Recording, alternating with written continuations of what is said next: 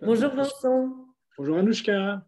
Je suis contente de te voir aujourd'hui pour pouvoir euh, t'interviewer au sujet de la formation Youth Coaching que tu as suivie. Tu, toi, tu faisais partie de la première cohorte euh, qui a, qui a fait la formation, donc ça fait déjà un petit temps. Euh, merci d'avoir accepté de te faire interviewer pour nous, nous partager ton feedback. Bah oui, mais avec grand plaisir. Je te donne mon feedback avec grand plaisir. C'est toujours un plaisir de pouvoir aider. Merci. Est-ce que tu veux bien te présenter? Oui, avec plaisir. Donc, Vincent, euh, j'ai fait donc, euh, avec la LCA coaching niveau 1, niveau 2, niveau 3. Euh, j'ai été assistant niveau 1, niveau 2 deux fois. je pense qu'à part toi, je suis une des, rares, une des rares personnes qui l'a fait plusieurs fois. Je crois que tu es le seul. et donc voilà, j'ai fait team coaching, les clés de la relation. Donc pas mal de choses au sein de la LCA, dont youth coaching. je l'ai fait pas juste pour se faire plaisir, je l'ai fait parce que ça m'intéresse. Donc, euh, initialement, je suis coach sportif euh, et je travaille régulièrement avec des jeunes. Et euh, mon but, et j'ai eu moi-même une enfance un peu difficile, et donc c'était ben, de mieux comprendre cette phase et de mm. voir comment pouvoir adapter et aider au mieux mon, mon, coaching, qu'il soit sportif, qu'il soit mental, et mes interactions avec les jeunes dans mon, dans, mon, quotidien. Mm, super. Ok, et donc tu m'expliques un peu tes raisons euh, internes hein, d'avoir suivi cette formation, mais pourquoi se spécialiser finalement après Tu as fait plein de formations, tu as eu un niveau 1, un niveau 2. Pourquoi avoir besoin de se spécialiser, tu penses, pour pouvoir accompagner des jeunes, plutôt que se lancer juste après un niveau 1, un niveau 2 en disant finalement je sais coacher, pourquoi est-ce que j'utiliserai pas mes, techniques de coaching classiques? Euh, Pourquoi se spécialiser avec les jeunes? Euh, Parce que est-ce que ces êtres complexes, on a tendance à penser qu'en tant qu'adultes, euh, c'est nous qui avons euh, la supériorité.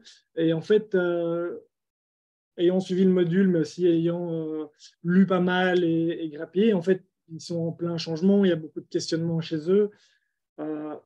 et je, pense sincèrement qu'ils sont plus complexes dû au changement constant qu'ils vivent dans leur quotidien qu'un adulte où ben, son cerveau a maturé, et euh, voilà, on a fini notre croissance, on, on sait qui on est, on sait plus ou moins ce qu'on veut.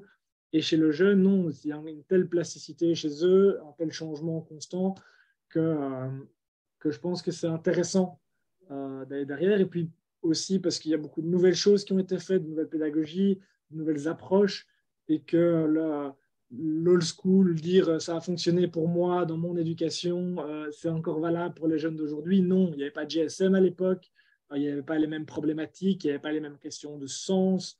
Euh, et donc, euh, voilà, je trouve que c'est tout un panoplie, une panoplie de raisons euh, pour laquelle se former spécifiquement aux jeunes est important.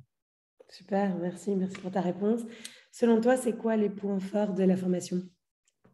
Les points forts de la formation, je vais commencer ben, par les trois formatrices, que ce soit toi, Catherine ou Valérie. Donc, vous avez tous quelque chose de différent à apporter une expérience, euh, un vécu et une expertise euh, différentes.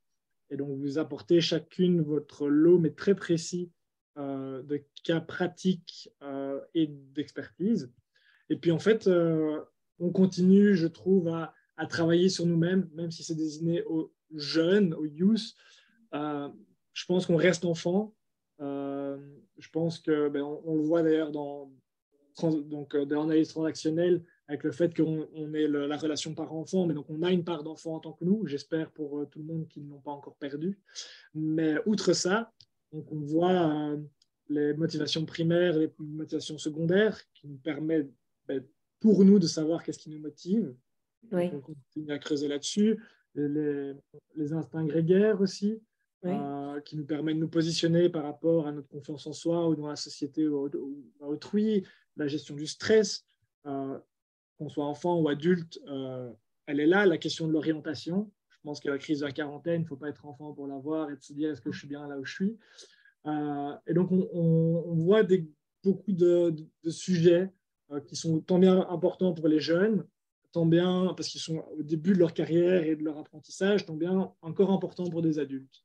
Donc, je pense que c'est une formation très riche pour tous ces points et pour cette densité, mais à la fois cette ce niveau versatile, je ne sais pas si ça se dit en français, mais cette, cette panoplie de choses qu'on aborde à la fois.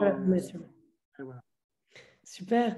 Mais en fait, j'ai juste envie de te remercier vraiment pour ton feedback, pour ton authenticité pour la richesse, parce que c'est vrai que c'est vraiment utile pour nous de pouvoir avoir euh, des feedbacks qui viennent de vous, euh, pour que les autres personnes puissent entendre ben, d'autres personnes en parler et pour avoir euh, ben, des, témoignages de, gens qui ont vécu les choses. C'est autre chose que si nous, on en parle.